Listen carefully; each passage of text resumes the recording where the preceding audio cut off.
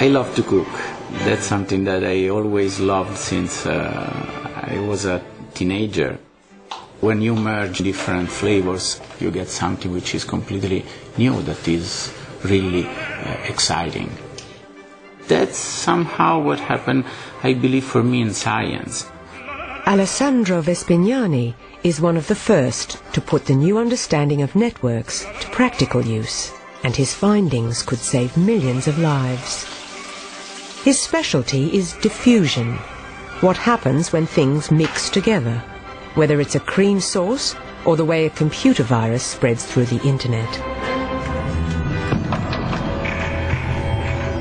In 2000, the I Love You virus spread around the globe in just hours.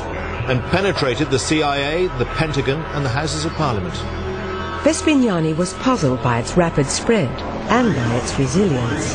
Even though software to kill the bug was released within a day, it survived for months. Japan came back from a week-long holiday to find a love bug still lurking in many people's computers. quicker is the disease at the beginning and the quicker it should die out from the system. And actually this was not the case. We were really puzzled by this fact that the high love virus was lingering in the wild. Like other scientists, Vespignani assumed that viruses spread at random. We were, you know, trying a few things and actually something at certain point I was struck by a paper It was Barabási's study showing the internet had a predictable structure. When I saw that image of the internet, I thought that that was the pattern that I had to include in the model in order to get a realistic description of what was happening with computer viruses. By mixing his knowledge of diffusion with the new map of the internet, he discovered that I Love You could move unstoppably through the hubs and hide in the far reaches of the net. And as he was about to learn, this had alarming implications.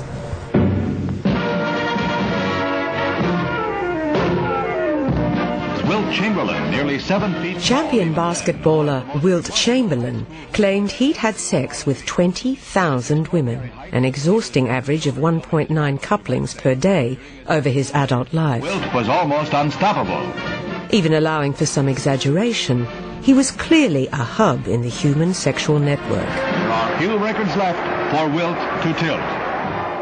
At first, Vespignani didn't believe that people like Chamberlain had implications for the spread of disease. No way, it was clearly not applicable in my mind because the internet is different from the web of sexual relation. I was wrong. A Swedish study of sexual behavior showed most people had only a few partners, but a handful had hundreds. The web of sexual relations looked exactly like the internet. It was dominated by a few hubs.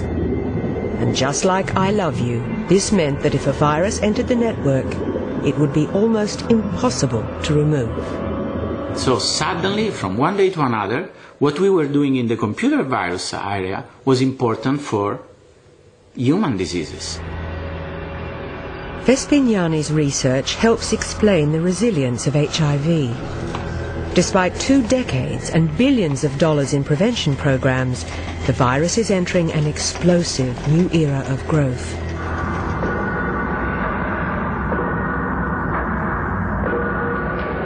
Awareness campaigns like this controversial Australian ad of the 1980s are doomed to failure.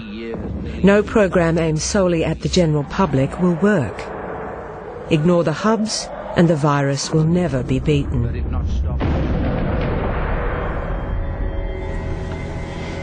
Vespignani's group is now modelling the intersection of global transport networks and disease. They can predict the spread of a new flu virus. Airline networks are dominated by a few major airports. Once an infected person passes through one of these hubs, the virus will be unstoppable. But Vespignani's research also offers a solution. The way to prevent a global catastrophe is by sharing precious antivirals. What you find is that it's beneficial to the entire world and to each country to share antivirals, to be cooperative and not to be selfish.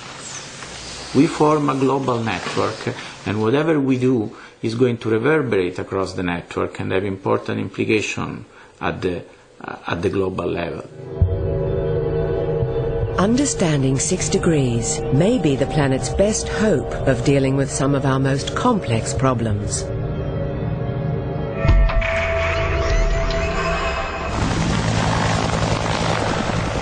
West Point, 200 years uninterrupted by progress. The predictive power of networks is attracting intense interest and changing some old ways of thinking.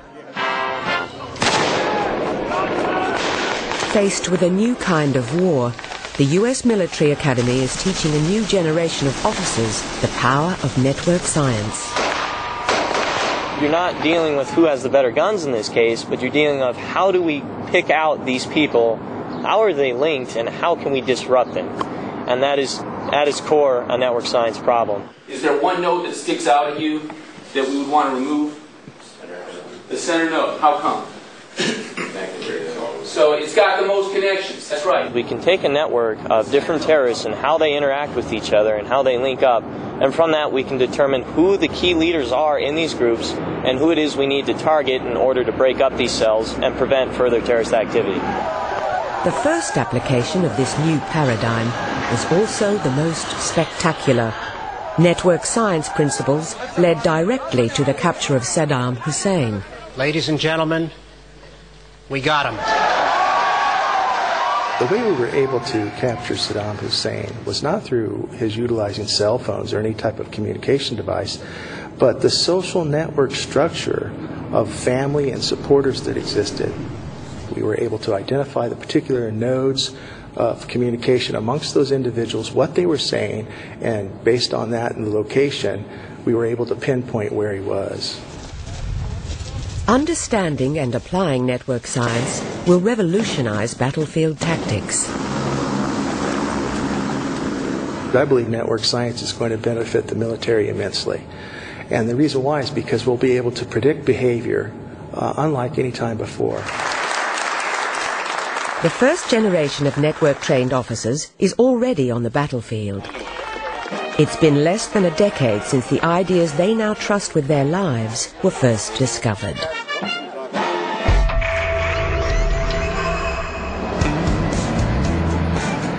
From Burma to Germany to America, one package is making swift progress. Are you Mr. Thomas? Yes, I am. I have a delivery for you. Thank you. I wonder what it is.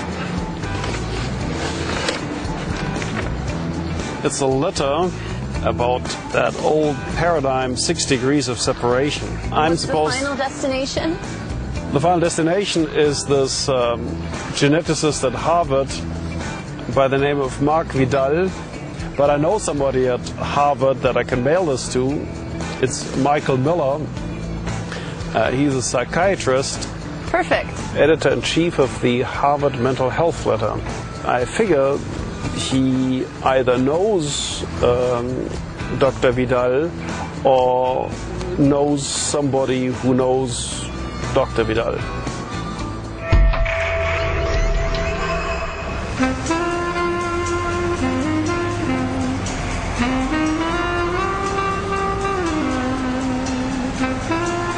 Marc Vidal is a geneticist. For him, the Six Degrees experiment is part of a much greater project, creating the first roadmap of the human cell. Imagine if we try to understand traffic in a city without having any maps, without having any idea of how interconnected the different roads are. Analogies are never perfect, but it's one way that I can imagine how things occur in the cell. Cells are the building blocks of life and hold the genes that determine our development. Those genetic instructions are carried out by thousands of different proteins, the worker bees of the cell. The proteins are the little tools, the parts of the cell. They don't work in isolation. They interact with each other. In Vidal's bustling cellular city, proteins are like people, constantly on the move and communicating with one another. If I start from my favorite protein and I ask, what does it interact with? I'm now back to basically a problem of six degrees of separation. Who is connected to whom? Vidal believes that if he could produce a map, then potentially he could locate breakdowns in the system that cause disease.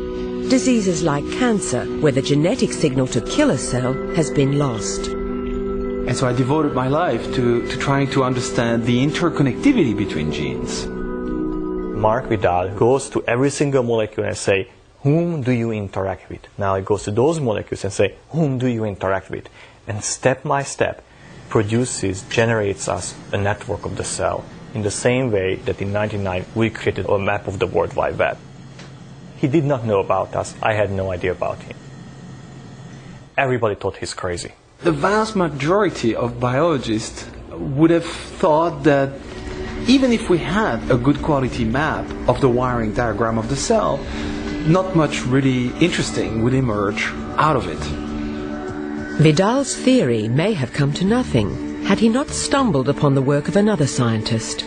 It was Barabási's paper describing a universal law in networks. And this really was an eye opener. What became immediately obvious to me when I opened that magazine, it would be incredible if we could actually use it in the context of cellular networks and try to use similar models to explain human disease. Seeing disease as a network means it's no longer just about biology. It's become a maths problem. And this offers entirely new ways of dealing with disease. So promising that László Barabási has joined forces with Vidal to explore the potential. One day, Laszlo came to my office all excited, saying, What if we looked at all the connections at the same time for all diseases and all genes involved in diseases? The result is the most remarkable network map of all. It shows for the first time connections between every known human disease. And just as the Hollywood Actors Network linked stars through their films, we can now see how diseases are linked by the genes they have in common. The network that came out of this analysis had absolutely incredible properties. For one thing, in many diseases, we still don't know all the genes that are involved in those diseases. Breast cancer is one example of that. And so using maps such as that one, that can help us finding the genes that have remained a mystery uh, up until now. Lori Benson is a young mother fighting breast cancer. It's already claimed the lives of two women in her family. Science has only identified 10% of the genes responsible for breast cancers, and that severely limits the effectiveness of treatments. I was 38. My daughter was 14 months old. And from the day that I found out to the day I went into surgery was only 10 days. With a daughter who may also be carrying the faulty genes responsible for the disease, she's keen to know more. Vidal's research could offer a dramatic shortcut to finding the root cause of the disease. Hi, nice to meet you. Very nice to see you. How was your trip? Very good. Yeah, come in, please. Anyway, so what I wanted to show you here, we use yeast cells, which you can actually see on, on this plate over here. Vidal places human proteins into yeast cells and then waits to see which ones interact with each other. So the ones that don't have any growth that means they're not connected? Exactly. Of course, this is a very small experiment, and you have to imagine hundreds and thousands and thousands of plates like this one, which then allow us to say those pairs do not interact, those pairs they do. Let's draw the network, let's study it, and let's try to extract biological information from, from that. How is it going to be actually applied to treating people? The effect of a drug might be very different in one individual relative to another one, mm-hmm. considering the, the nature and the, the properties of this of this big network over here. And to individualize the treatment. and individualize, exact, personalized. Okay. That's certainly the hope. Vidal's work remains experimental, but his network maps may be the best hope for future generations of Lori's family. From Hollywood to maths equation to a daring new approach to fighting disease, this is the promise of network science, a new way of seeing our world.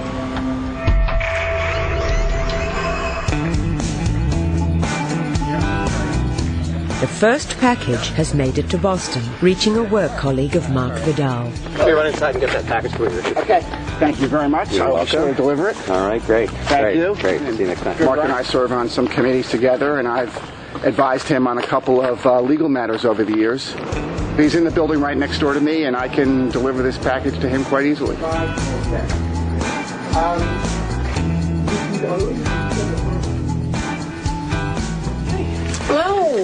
Package for Marc Vidal. Is Marc in? He is, but while you're walking over there, would you please Sure. pass that on to him? No problem.